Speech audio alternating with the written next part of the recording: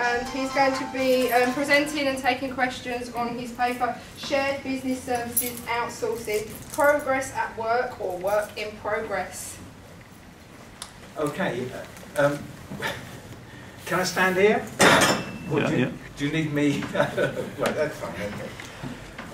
I've, I've put a couple of quotations on the um, slide that um, really reflect what it is that's happening uh, when people are talking about shared services. And these two you may be familiar with, but one of them, the first one comes from a CBI document that they produced within, I think, about two uh, weeks of the Conservative coalition election victory in 2010.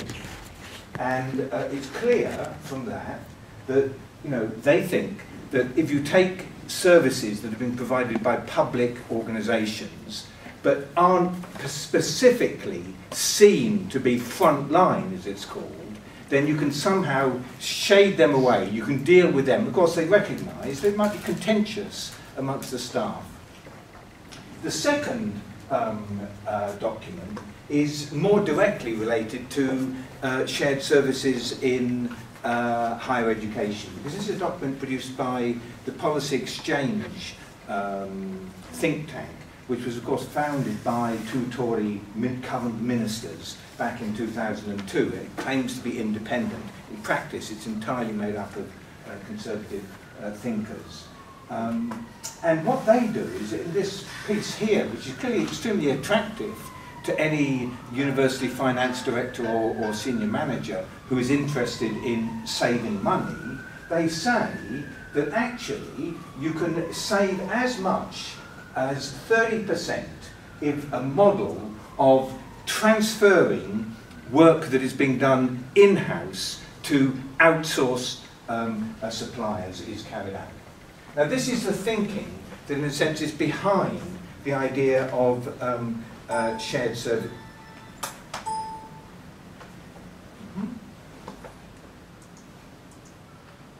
Next.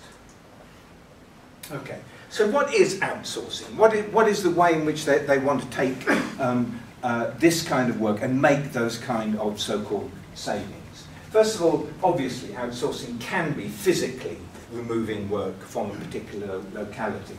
Um, but in the public services, it usually represents work being carried out on the premises of the um, original provider. So outsourcing, most people think, oh, well, it's taking it to China or it's taking it somewhere else. No, no. Outsourcing, when it refers to the public services, usually involves people from another company working using the space provided, the buildings provided, the um, economic infrastructure provided by uh, the initial uh, uh, organisation and indeed by public purse. So um, what does it involve? It involves really shifting added value from some people who are adding value to the value adding process conducted by a private company. Usually a private company, not always. Sometimes outsourcing can be to another public organisation.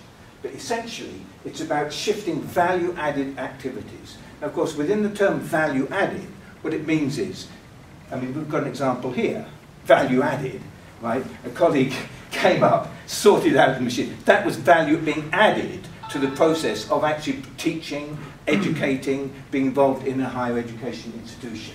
So what you're then doing is saying, well, actually, this work here that we saw in front of us, right, is now going to be carried out by somebody who is working for a private supplier, a separate organisation whose business, clearly, is about making profit.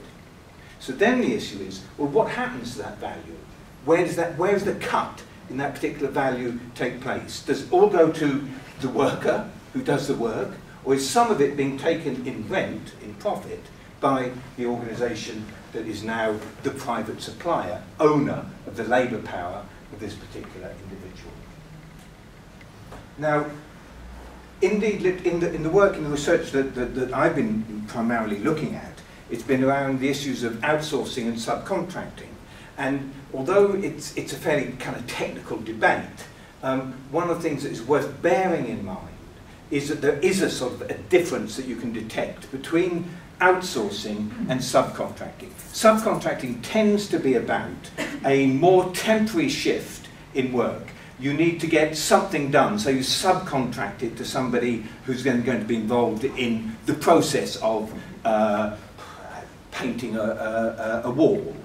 Right? You don't normally you know, paint walls yourself, therefore you subcontract that painting of the wall out. That's the kind of, no, it's a temporary process that's got a fixed duration usually. Outsourcing is something different. Outsourcing is, shape, is reshaping your organization. You have an organization which is like this, and outsourcing, you're taking bits of it and you're putting those bits into another form of organization. So the pretty picture I referred to at the beginning is here really. You can't see it that well actually.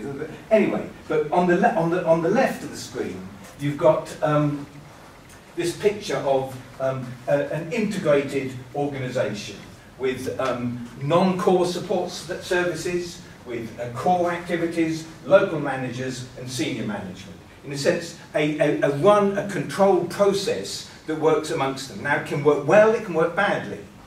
I mean, if you have poor management, then actually this process and the, and the services provided are not usually very effective. If you have better management, if the thing is working well, then you have a very effective organisation.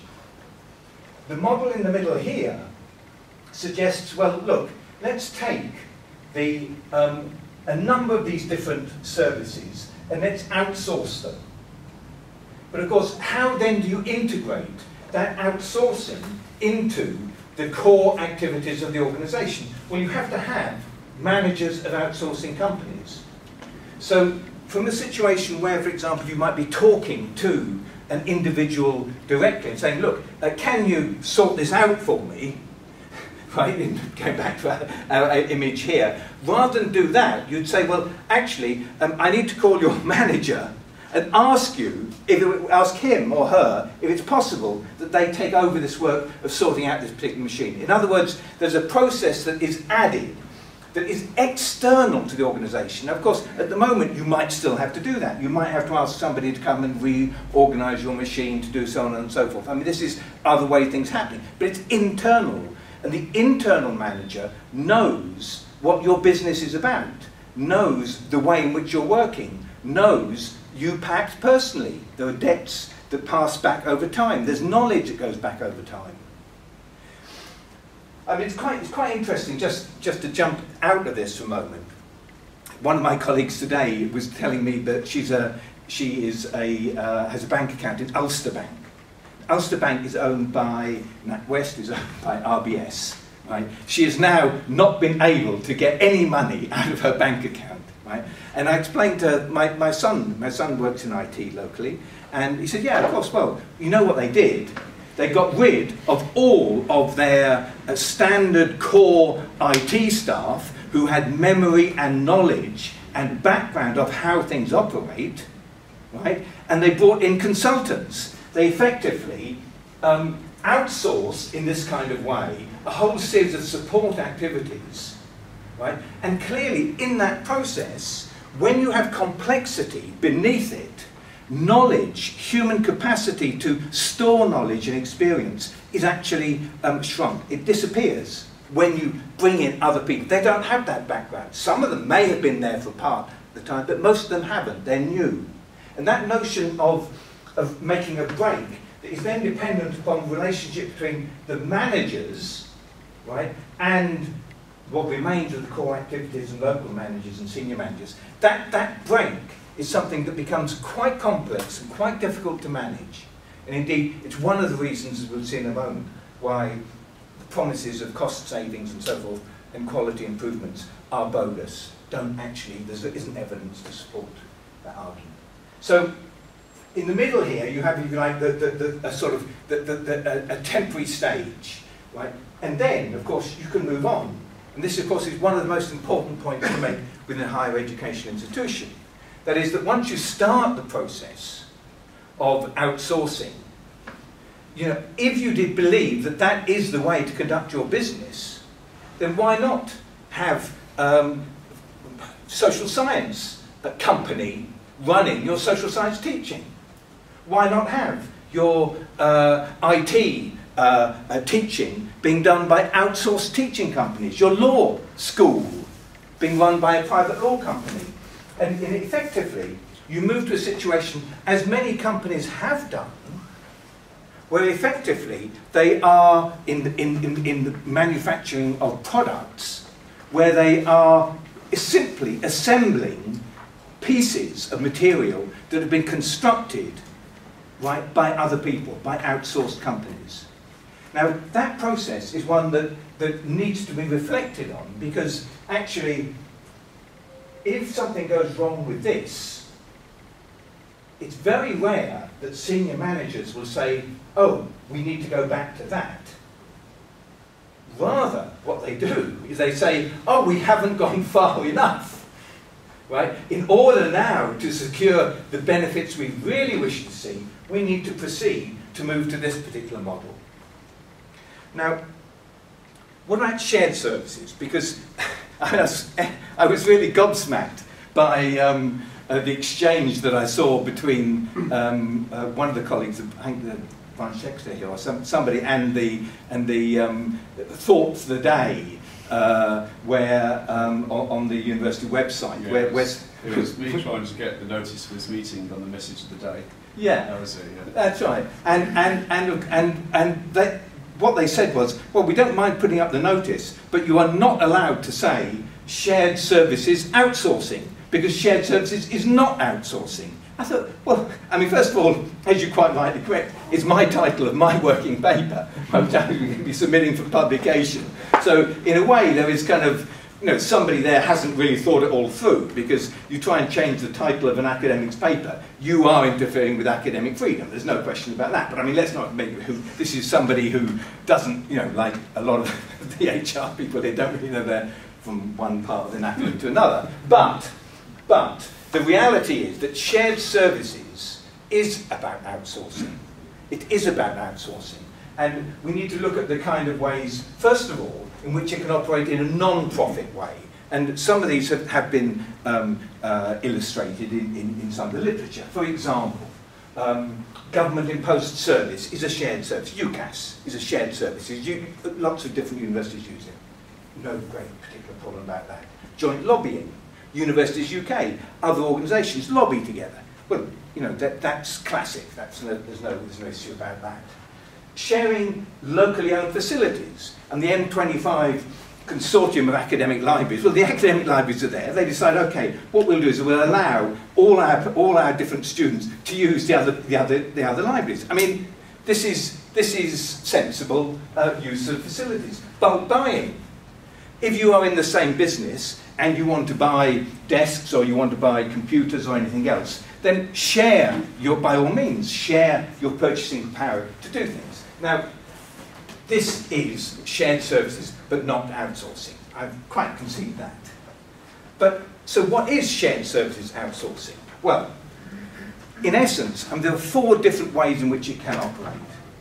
Um, one way is in relationship to university-owned housing. And there are some examples of this around the country where different universities in, a, um, in the same area, like Manchester, for example, have set up a company owned 100% by the universities to provide student accommodation across the whole range of, uh, of, of, uh, of universities.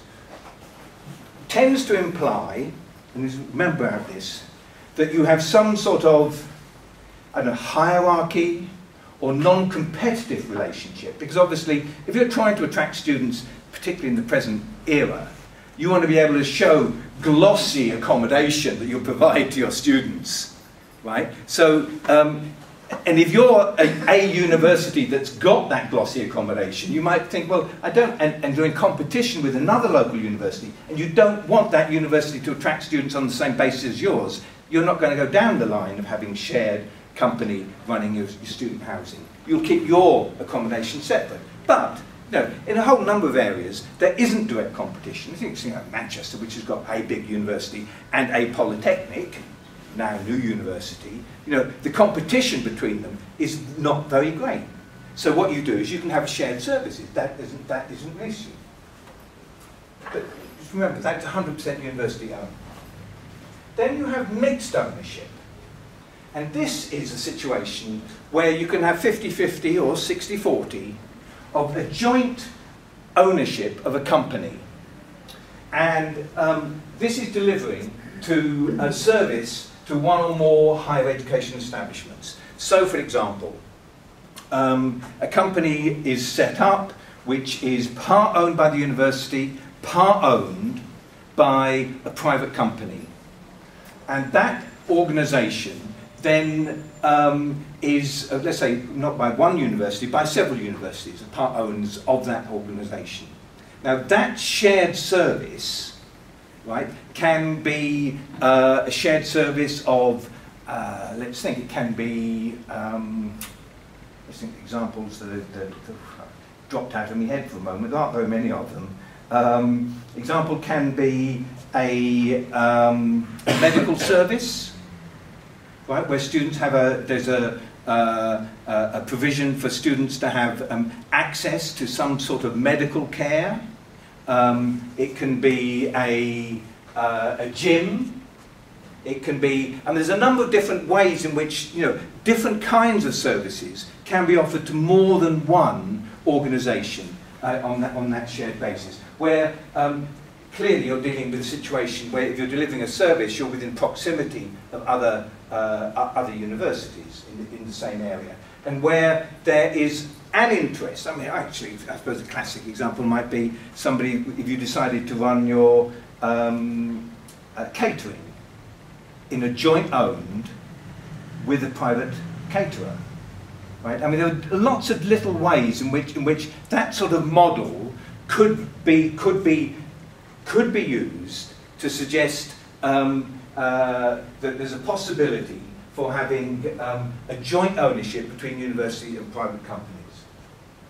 The third area is wholly private. Now this is, it happens everywhere. I mean, if you think about, um, we've got uh, the caterers in this business in, in, in, in you know, university here, about which have been huge complaints over, over the years since they've been established. But you have a whole range of different ways in which Catering can be uh, supplying several different universities. It's doing a service. Um, it's a, it's a 100% uh, privately owned, um, and it lives to one or more. And then the final category in this kind of you know, classification of different forms of shared services is where you have 100% private ownership, delivering a bespoke service to effectively to one university but it only becomes a shared service when it's also delivering to another.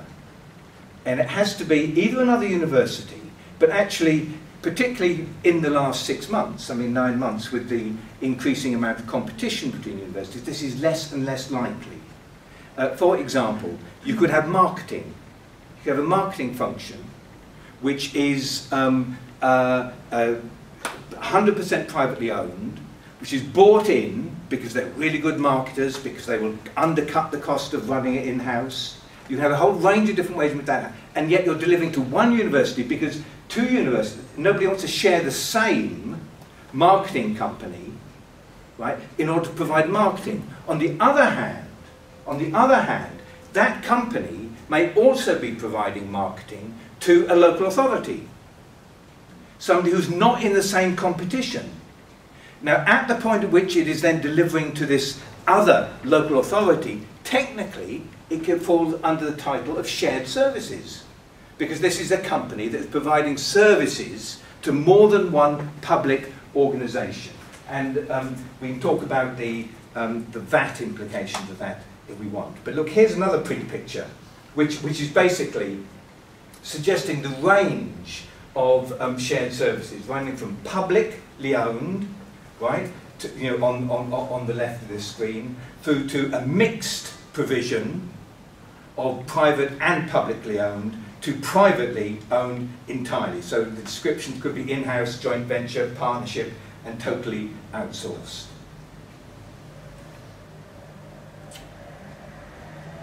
The models of outsourcing and shared services are driven by those quotations that I started uh, to talk about, which is cost savings.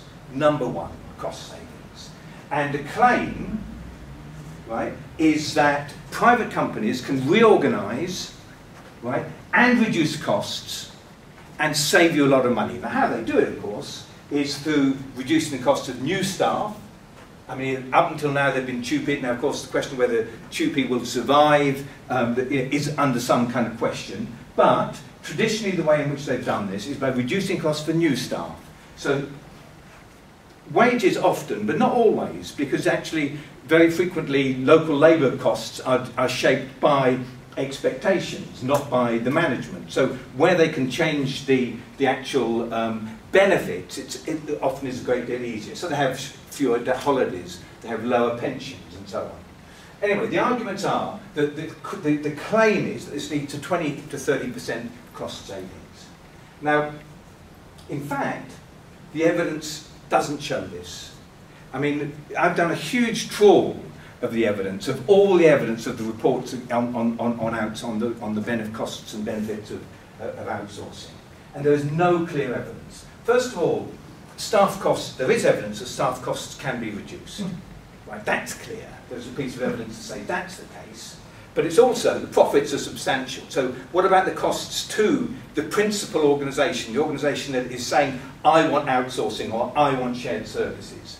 Actually, there isn't evidence. Um, there's one quite amazing report done by Deloitte, the consulting firm, in 2005, which actually says, no, don't do it. Basically says, look, this fad, this trend moving towards outsourcing doesn't produce the benefits. The reasons it doesn't is about the role of those middle managers that I put in, into the, the private company managers in the middle of, the, of, the, of that um, middle, middle square. What happens is that by putting a row of managers, by inserting a row of managers into the process of uh, external managers, into the process of managing your business, you shift bargaining power to them. You shift bargaining power to the private company.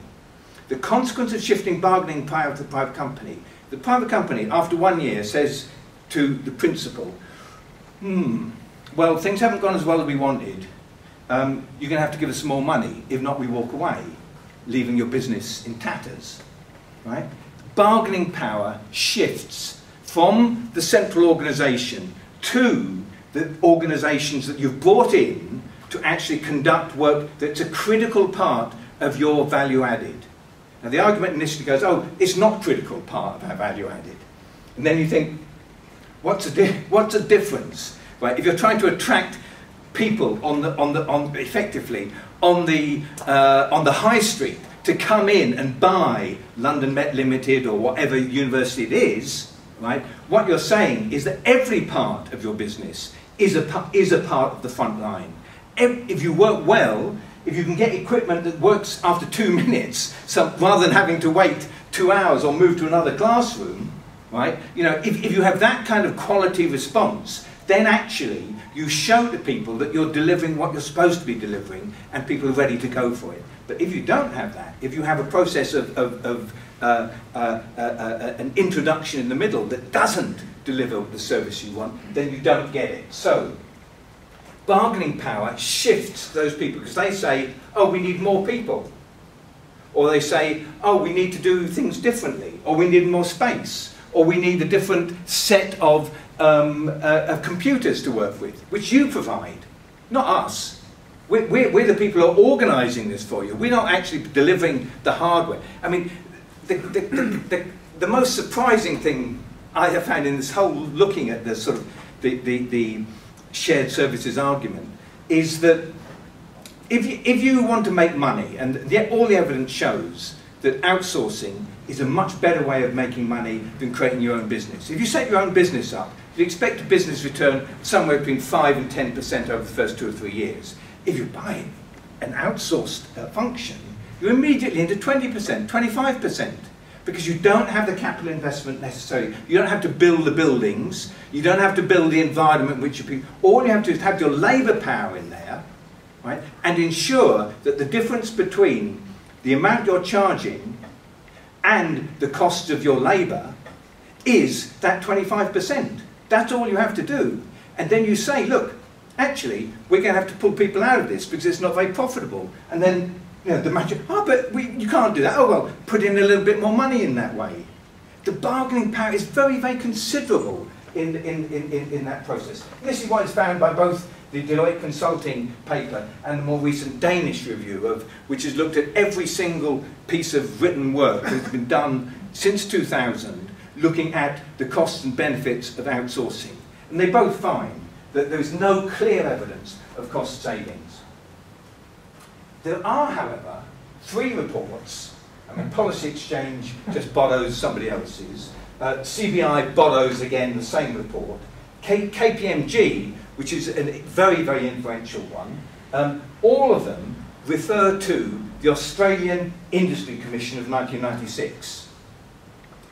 And so you go back to this, which was done, if you remember, there was a very kind of right-wing government in Australia um, uh, in, in, in, the early 1990s. And there was then, they organised this commission. And essentially what it's saying, I mean, First of all, the evidence base is, is really quite, quite thin, particularly when you look at the um, international studies that they looked at.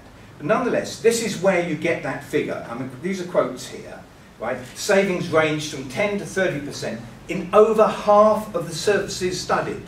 Well, okay, over half of the services studied, but what about the other 40% or 50%? They didn't fall within those parameters of 10 to 30%.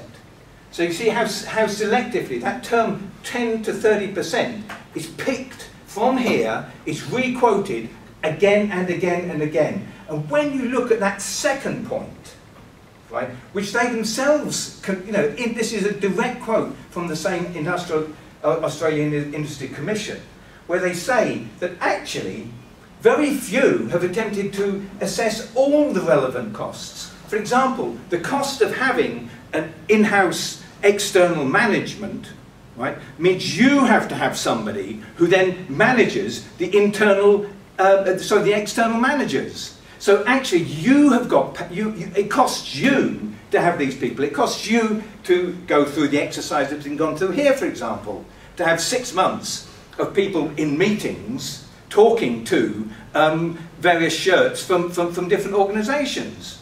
I mean, this is a cost that is not included in the costs where, where they're making these estimates. So then, of course, the, the second point, a second issue, that changes in service levels are not taken into account.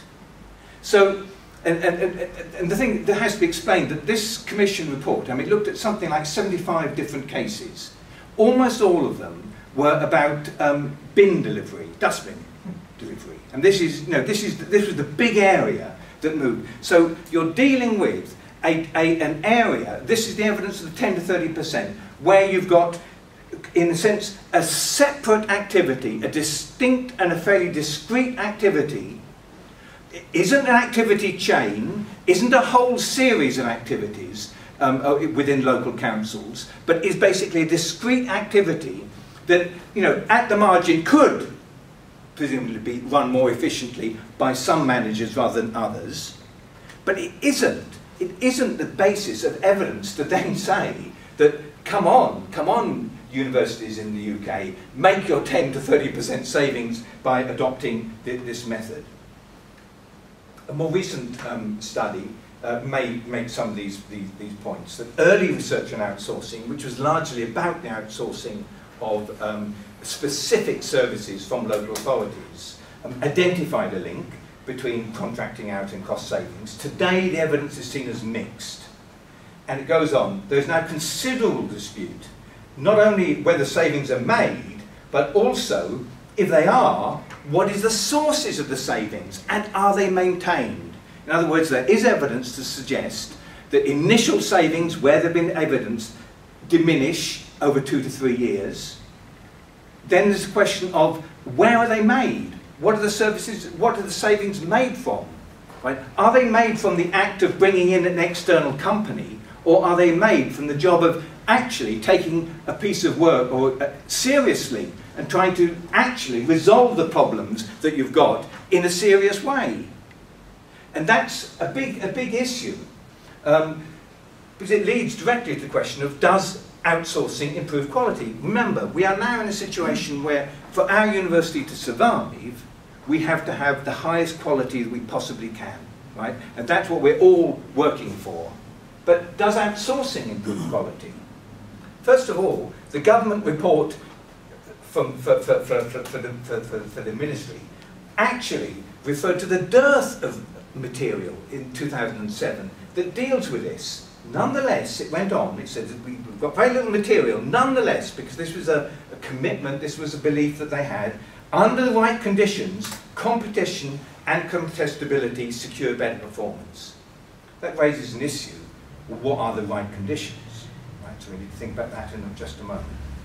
The evidence that they, that they gave, right, uh, they referred to for this statement was that included this, this argument that local government officers did not actually carry out retrospective analyses of the comparative costs. In other words, they introduced outsourcing and they didn't look back later and make any assessment or comparison about what had happened in their organisation compared to what had happened in organisations that had not outsourced. Because one, you know, you think, I mean, you think today, the, I mean, let's go back to the bins. The bin lorries today are different than they were five years ago. I mean, I'm staggered the other day. I mean, they were throwing into we have green lorry and they were throwing everything into it. Right? You know, I mean, all, all our kind of careful sorting out this, that, and the other, and they were just pushing it all in because, right, down the line, the technologies make it possible for them to sort much better than I can ever, ever do. Now, that notion of making a comparison over time to see what happens, right, and then comparing with other people, simply not done. Simply not done, and, and as, as, as, that particular piece of report uh, uh, uh, evidence. And then, of course, they did this huge um, national survey of local authority officers. And the incredible thing, really quite staggering, was that only 39% of the respondents believed that um, increased competition would lead to improved efficiency. The idea that, that you have competition coming in to run your business can somehow make it better, right, isn't believed, isn't something that the people who've been involved in it actually believes the case. So another argument on the question of quality, I mean, this, this is obviously well known, but I mean, the, the whole, the whole hospital cleaning situation where, um, you know, it is totally clear, recognised now, that by outsourcing cleaning, what you did was, al was allow disease to come into your organisation. Right? That is that the, the, the difference, I mean, I can remember once talking to one of the people I interviewed was the um, international manager of the Accor hotel chain, who said um, that their policy in France, haven't yet extended everywhere else, was to get rid of um, subcontracting or outsourced um, room cleaners. Why? Because they had found out that if you use in-house people, your beds and your linen last an extra one month, right, per, per nine, right? In other words, they take more care of them. Staff who are working with them take more, on a regular basis, take more care than somebody who's just coming in and then getting out again. Now that, that kind of, you know, I mean, at one level it's intuitive that's the case. You know in your own house you do that yourself. You take more care of stuff than, than, than you would do. If you were just kind of spending one night there and went one night somewhere else. This is the logic of, of, of uh, Davis's uh, findings. So what are the right conditions? That might improve performance. And again, this is referred to in, in those um, reports. First of all, cultural conditions, transparency, high trust, involvement of the staff, collective bargaining in good faith, no loss of entitlements and no two-tier workforce. I mean, you've got a whole series of things that, that, that they actually, if you have all of these things going on, then just maybe outsourcing might improve your performance. This is, this is under the right conditions. Of course, what are the business conditions? Well, the business conditions I've just referred to, the high degree of separation of task. In other words, you can have a, if you can have a separately defined task. I mean, you think about security. Right? Does it make any difference to you if you go into a place and somebody snarls at you? Right? Or if somebody's cheerful and friendly you know, I mean, it, immediately you begin to say, well, actually, commitment to an organisation commitment to a sense of what, what you are doing does make a difference. So even if you take a task like that at the front house, at the front gate of, of, a, of a university, you're immediately having an impact on the rest. We, we, we are in a complex organisation. Universities are complex places. They are not places where sing, a single task can be separated out that make, if you like, no difference to everybody else. Everything is integrated. And it's clear that the more integrated a business is, the less outsourcing works. So, both outsourcing and shared outsourcing, right, give power to external providers. This is a critical. Because the power is shared, it is actually unlikely to lead to cost improvements. It's unlikely to do anything for quality, indeed the reverse. What it is likely to do is to lead to worsening terms for the newly employed workers and eventually, in time, for all workers involved. Okay, I think that's, yeah, that's it. I'll leave you my last picture for maybe later on. Okay, thank you.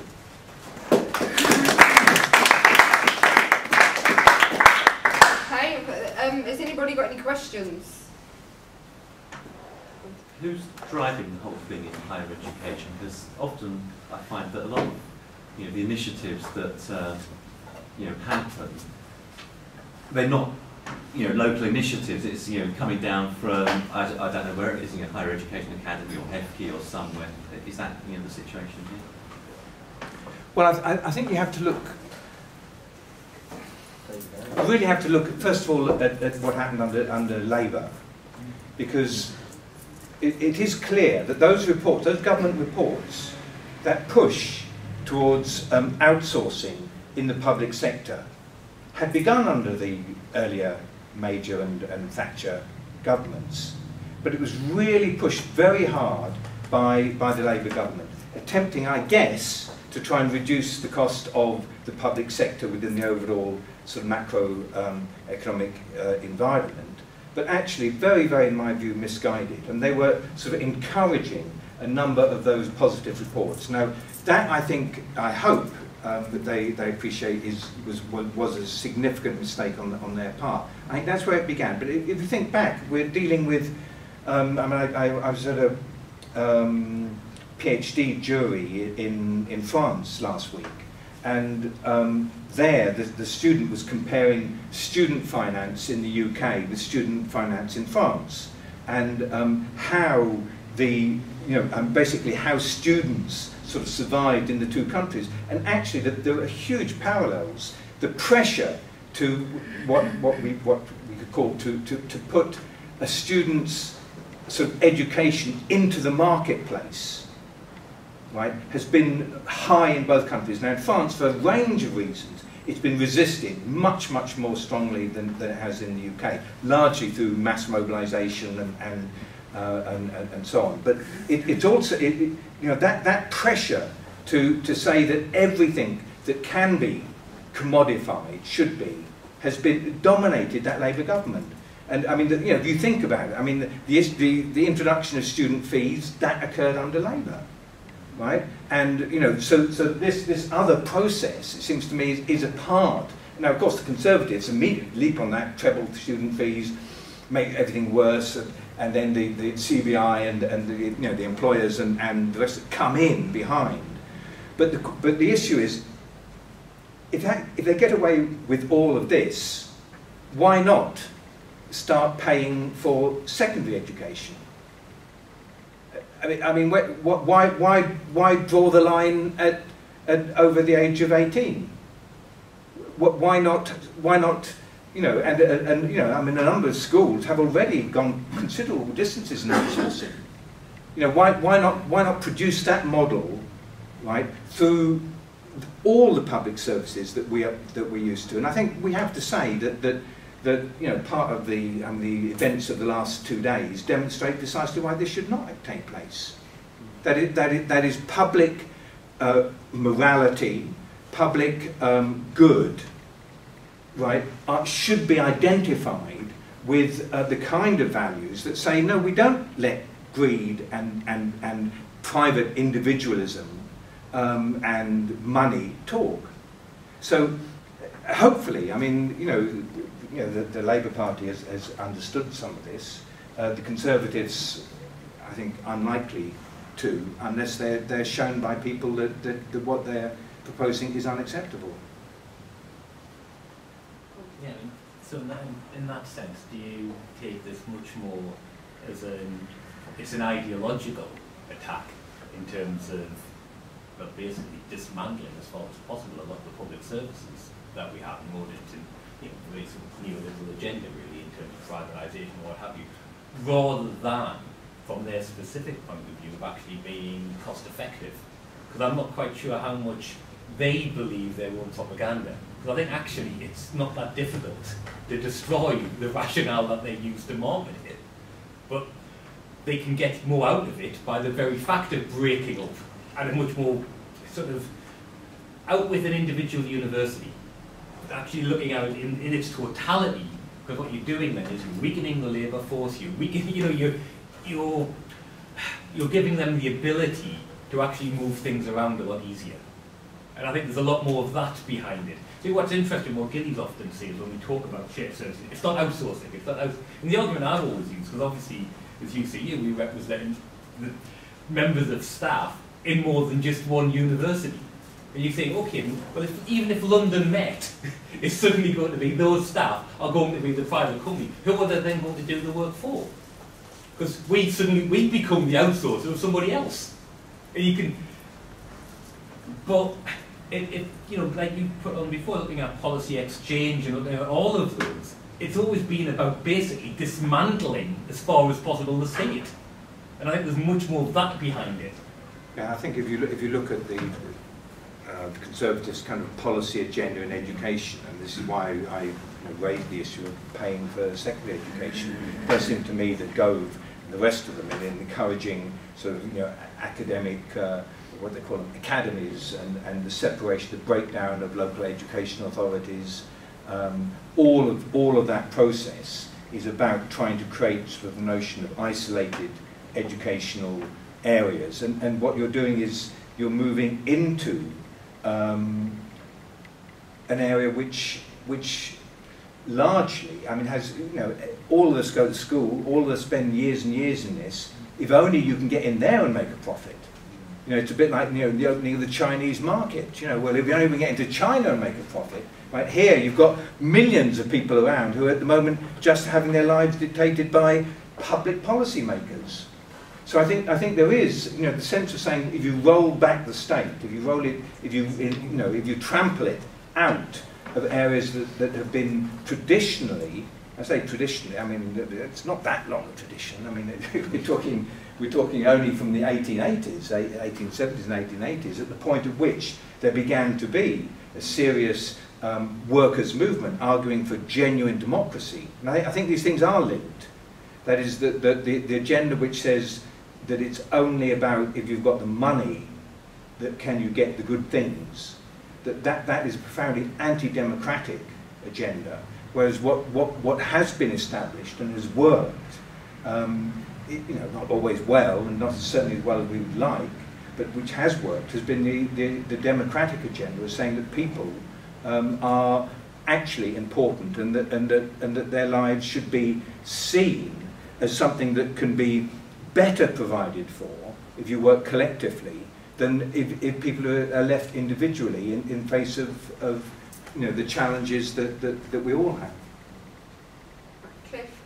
Yeah, I mean, well, I totally agree with that, but they don't. And that's the trouble. And in a sense, holding this meeting here is great, but it should, in a sense, be in the boardroom with the governors.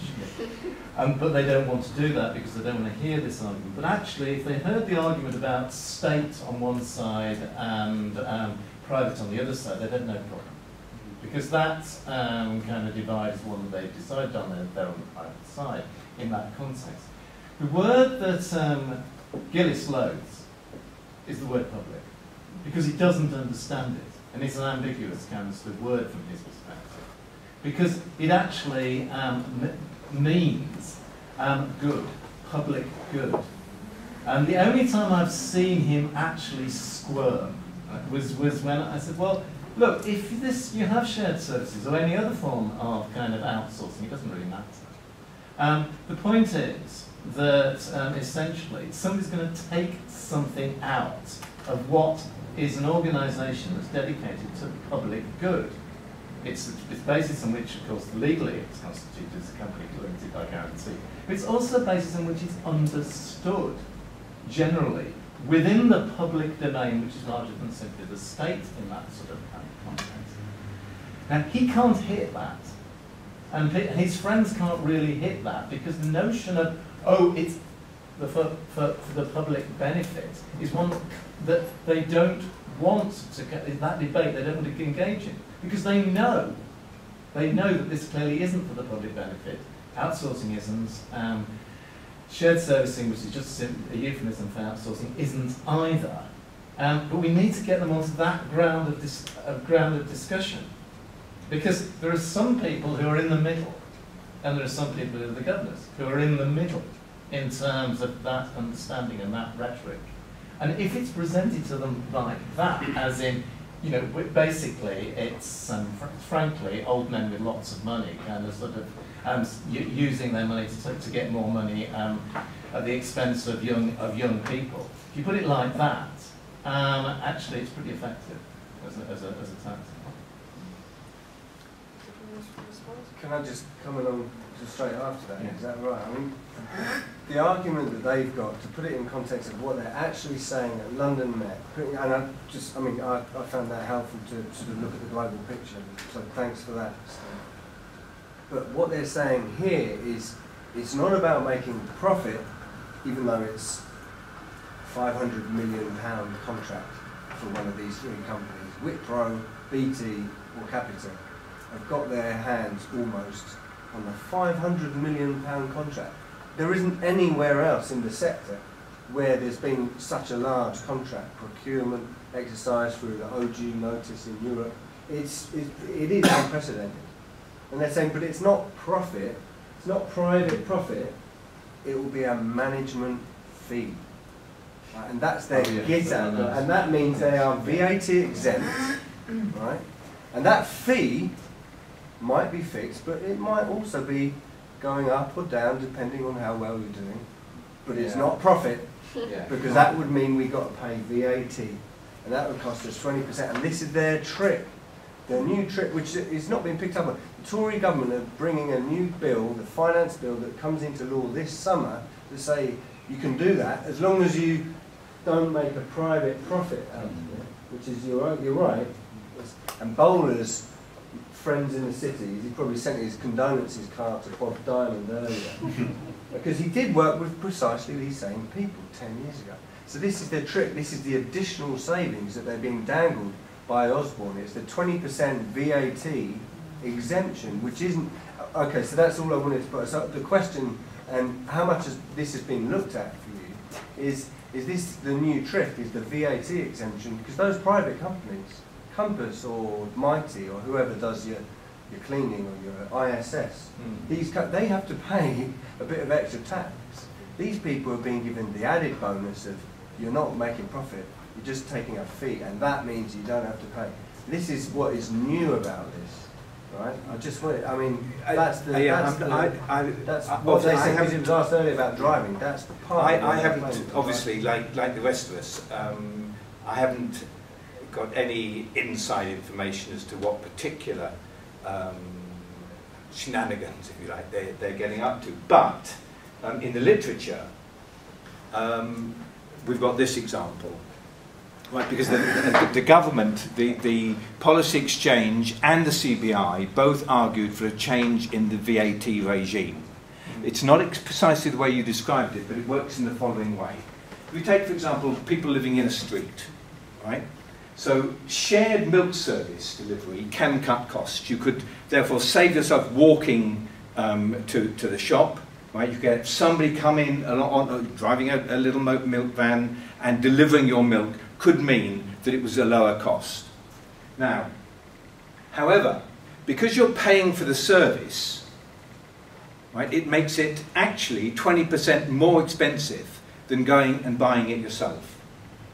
So, if you establish what is a special purpose vehicle, right? The name of basically it's a kind of company, right? It's a kind of company, then actually you can recover that 20% VAT. Yeah. And that, that really is, is the mechanism. So, so in reality, what then happens is, is that um, you can only do that, you can only use a special purpose vehicle within a university if it is a shared service with another public sector um, purchaser, which is why the way I describe it in my analogy, you've got one street, right? And actually, they're all made up of universities. And therefore, there is no interest in any of the other universities in sharing your service because you're in competition with them. But on the other hand, down the road, there is a hospital. Right? They might like to have a milk delivery. If you, all you need under the Tories' new proposal, all you need is to have a hospital say, we'll also buy that shared service, and then it becomes one on which you, through your special purpose vehicle, right, electrically um, driven, as you can see above, through, through that special purpose vehicle, you can then uh, be effectively exempt from VAT. Although it's not even as simple as that, because the VAT, right, has to arrive from somewhere, right? What happens is that, so, and this is the big question that I've got about whether they, whether really, there's two things about it, whether they've finally fully worked it all out. In other words, um, Brian Roper, those of you who remember this illustrious name, used to spend a fraction of the VAT receipts they got back on those huge parties. Right? That's where he said that, so. So we, when, whenever we were filling in form, them saying, "Well, claim the VAT back," it was in order to get the VAT for those huge parties. Actually, right? In order, when you, if you're in a small business, as I was for many years, if you put in v- VAT, right, it, you, you're selling things and you add VAT on top. What is it that we're selling? Right? Where are we going to get the VAT, right, to be able, you know, from which money can be repaid for the special purpose vehicle? I mean, if you're, if you're, if you're, um, you know, if you're, if you're building a, a, a um, uh, if you're in a building site and you're making something, you're paying VAT all the time, and, and you're then selling, and you can claim back against your customer, the person who's buying the building. Where are we getting our VAT back from? What's the level of VAT that is actually being, being delivered by this university? It is not high. It is not high at all.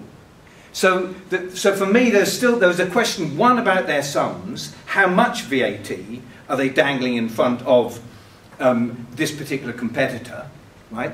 Um, or the second problem is is um, was, was was was raised by the um, uh, there's an organisation of university um, IT uh, purchasers um, who had a seminar from the government last December, and they, they, met, they issued a report saying, yeah, we can see that an IT provider um, you know, could actually sort of come in and if we could get the VAT sorted, then they could claim the VAT back under the new measure. But the EU, whose, whose income is derived by, it's, I think it's, is it uh, 0.5 or is it 1% of all European VAT is provides the budget of the EU, right? So the EU is particularly interested in um, people making, saying, okay, this is VAT exempt or the v- VAT can be reclaimed. Will the EU um, enable this to happen? And so they said, they recommended their members, don't do this, wait until we find out whether or not the EU, once it's set up, whether the EU challenges it or not. And according to, to um, uh, uh, th- th- uh, you know, according to what I know, there, haven't, there has not yet been a final decision, a, a final verdict on whether it's actually legal. Now, the only what it what it make it does make a difference. It makes a difference to um, to the company, because they then are effectively being able to provide their services without having to charge an additional 20% on cost. But if you look at that, all you're doing is saying, actually, it would cost the same as if we went down the, walked down the road to buy it.